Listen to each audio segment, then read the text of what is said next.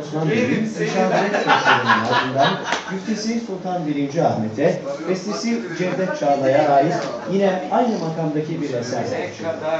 İftirakınla efendim, ben de Karkaşkan. Sanatçımız şimdi yine müşaviret makamında iki eser seslendirecek. İlk eserin müftisi Vecdi Bingöl'e, bestesi Selahattin Pınar'a ait.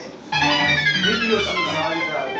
Ben hiç böyle olmadım. Ben de Ben arkadaşlar. Çocukken İşte bir ben yarışmamızda uzlaştık daha sizlerle beraberiz. Yarışmamız birazdan başlayacak.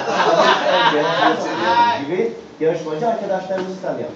Evren Karabük 5. sınıftayım. Pınar Yüksel 5. sınıftayım. Selma Aktan 5. sınıftayım. Barış Aşıkgil 5. sınıftayım. Evet arkadaşlar bu haftaki yarışmacılarımız Pınar, Evren, Selma ve Barış. Ben kendilerine soruyorum. Çocuklar hazır mıyız? Evet sevgili arkadaşlar bu heyecanlı yarışma gerçekten bu sefer heyecanlıydı. Bitti ve yarışmamızı Pınar ve Evren kazandılar. 40 puan alarak bir sonraki yarışmamızda Pınar ve Evren'le birlikte olacağız. Şimdilik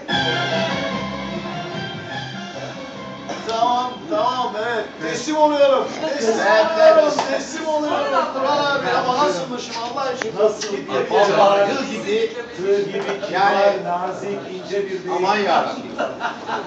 Evet, sağ olun, çok teşekkür